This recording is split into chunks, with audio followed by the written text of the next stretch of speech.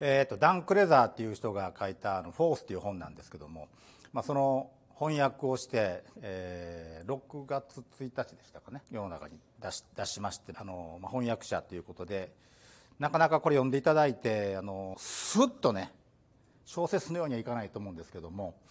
詳しく考えてもらったらこういう形で考えてもらったらいいとかそういうことを含めまして最終的にはそのトレーニングっていうところに結びつけて今日はお話ししたいと思います。あくまでそのバイオメカニクストレーニングっていうことに、えー、焦点を当ててでこのバイオメカニクスっていうことを学ぶとトレーニングっていうものに対してもっとこういうところが深く理解できるようになりますよとかこういう誤解をしている人はバイオメカニクスを学ぶことによってその辺がちゃんとこうはっきりしますよとかそういう本なんですね。であんまりないんですよ。でそれでまあこの本はそういう意味でですねあのそういう人でもなんとかバイオメカニクスっていうものについてその基本が考え方っていうか基本っていうか、えーまあ、思考をの鍛えるっていうかね。バイオメカニクスのテキストを読んでいくためには理系の頭でないと読めないんです。で理系の頭になっていくためには文系の人が理系になっていくためにはいきなり理系にボーンと掘り込まれるんじゃなくて文系から理系にこう、ね、移行していくみたいなところが必要ででそれはやっぱりこの説明の仕方とかあの言葉とかそういうところなので、その辺をねうまくあの書いてるなというふうに思いましたですからまあ何回も読んでもらう読み直してもらう必要があると思うんですけどもまああのそういう意味で初学者初学者初めてバイオメカニクスを勉強しようという人にとってはすごくいいバイオメカニクスの入門の本になってます。で最初からここですっと今日お話ししますように力とか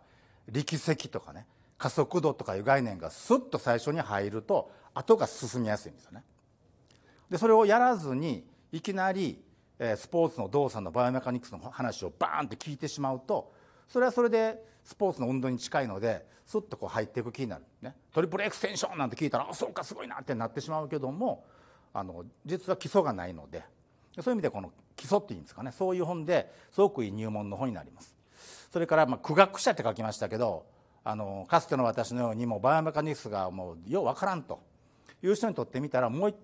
これを読んでもらうとあそういう意味やったんかとかね。あこういうことが言いたかったんねとかいうふうになりますのであじゃあバイオメカニクスもうちょっと勉強してみようかってね。昔諦めてたあのあのあの本でもう一回勉強してみようかとかね。いうふうな、まあ、再入門になると、ね、いうことです。それからまああのローって言いたくないですけどもうそういうこともやってきた人にしてみるとあこういう説明をしたら理解しやすいんだなとかね。こういうふうに言うとあの分かってもらいやすいなとかねそういうまあ再発見みたいなねそういう意味でまあいろんな人にとって非常にいい本だなというふうに思ってあの翻訳本を出したということです。で今日は